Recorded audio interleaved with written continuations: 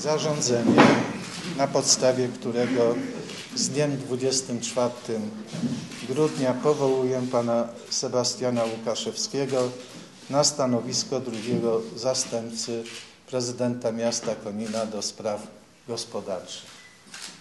Panie prezydencie, bardzo proszę, gratuluję, życzę powodzenia. Lekko nie będzie. Chciałbym bardzo serdecznie podziękować za okazałe zaufanie. Y, Ze swojej strony deklaruję, że będę sumiennie i ciężko pracował na rzecz miasta Konina.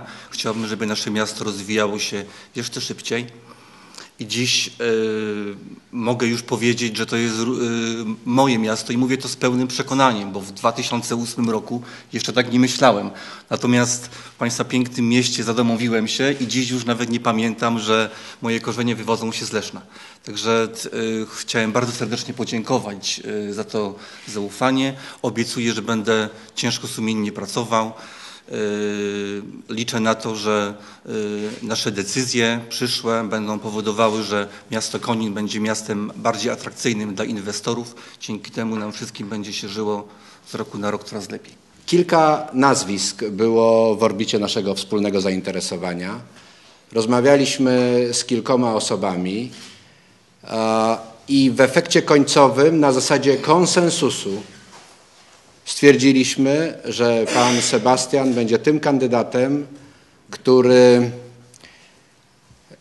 może nie słowo daje gwarancję, ale na pewno daje bardzo duże prawdopodobieństwo graniczące dla mnie z pewnością, że ten sukces, e, który sobie zakładamy, stanie się rzeczywistością. Mamy 4 lata najbliższe, które, które są właściwie kadencją taką gospodarczą i, i e, pan Sebastian na tym miejscu jest jak gdyby gwarantem możliwości rozwoju tego miasta w bardzo dobrym kierunku.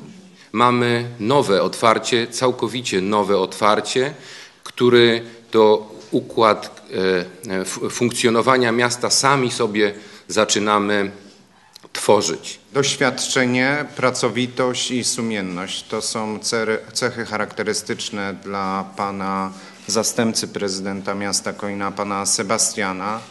E, To przyniesie duży owoc, e, owoc dla wszystkich mieszkańców Konina, z czego bardzo się cieszę. Pan prezydent Sebastian Łukaszewicz nie jest mi osobą aż tak bardzo znaną, za którą mógłbym dzisiaj głowę położyć, ale palc, palec jednej ręki niewątpliwie tak. Kontynuacja i szybszy rozwój miasta przy wykorzystaniu wielu środków i wszystkich możliwości.